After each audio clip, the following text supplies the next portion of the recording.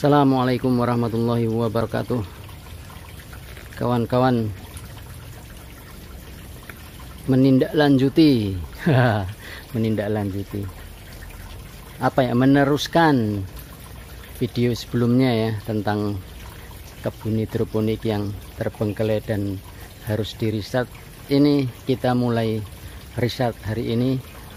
Lihat ini di bagian sini semean sudah dibersihkan dan ini kita juga sudah menabur benih-benih baru.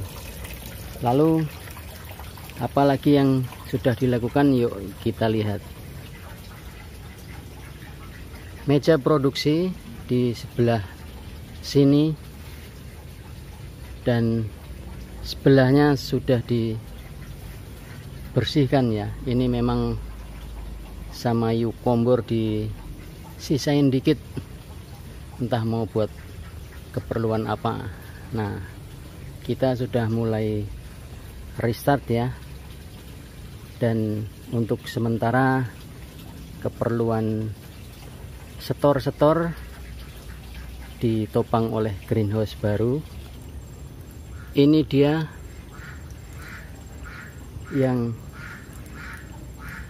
menopang setoran pada saat restart kebun ya.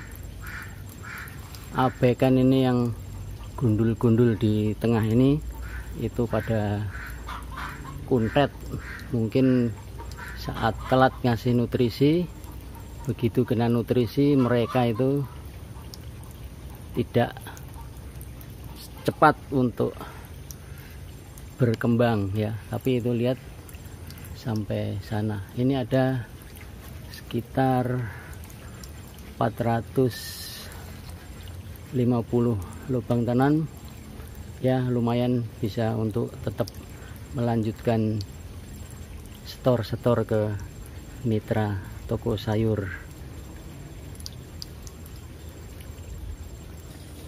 Dan untuk selada-selada yang di afkir dari meja produksi itu berakhir di sini sebagai makanan ikan gurame.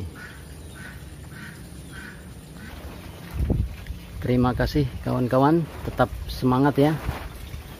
Seperti Kang Kombor walaupun harus restart kebun, tapi kita harus tetap penuh semangat dan tetap harus selalu bersyukur. Wassalamualaikum warahmatullahi wabarakatuh.